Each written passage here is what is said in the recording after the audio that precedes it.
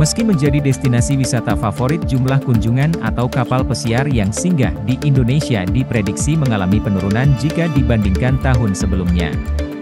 Sepanjang tahun lalu tercatat kunjungan sebanyak 146 kapal pesiar yang berlabuh di wilayah Indonesia Timur dengan total 191.438 wisatawan dari berbagai negara.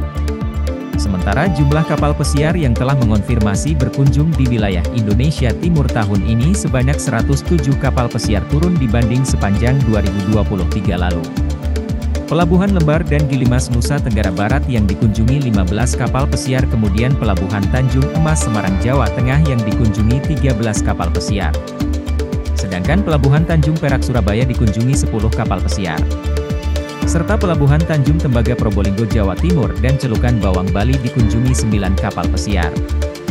Berdasarkan data tahun lalu sejumlah pelabuhan di wilayah Indonesia Timur yang menjadi tujuan favorit berlabuh kapal pesiar adalah Pelabuhan Benoa Bali yang tercatat dikunjungi sebanyak 44 kapal pesiar.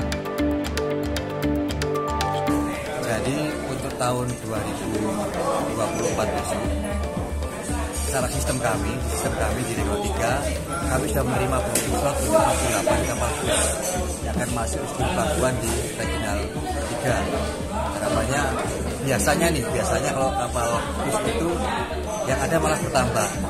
Jadi ini kita harapkan akan lebih banyak lagi yang bisa masuk di tahun depan.